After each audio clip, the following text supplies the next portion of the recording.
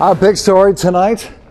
How is your child feeling? A virus is now infecting hundreds of local youngsters and thousands nationwide. The sickness is filling up nearly every bed at Dayton Children's Hospital. New at 11, Kelly May is live to explain what it is and what parents should look out for. Kelly.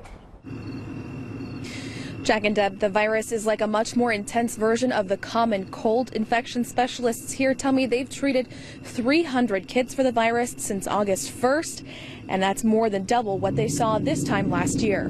I couldn't sleep without my sound machine. It was a rough night for little Hayden Tresslar.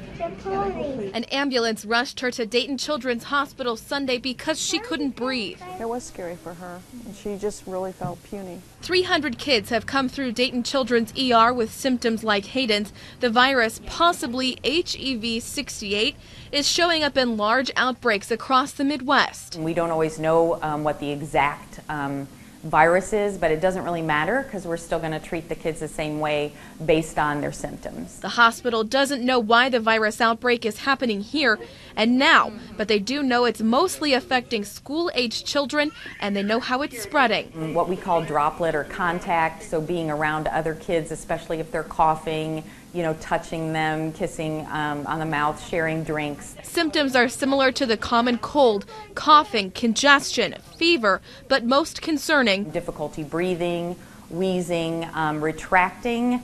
That would be the kind of breathing where um, the kids work really hard to breathe, and sometimes they even have to suck in at their ribs. The breathing was so you know, she could not catch her breath. There is no drug to treat or cure the virus. Hayden was given breathing treatments in the ambulance and here at the hospital. Today, she's being released. I feel worse this morning than I was good today.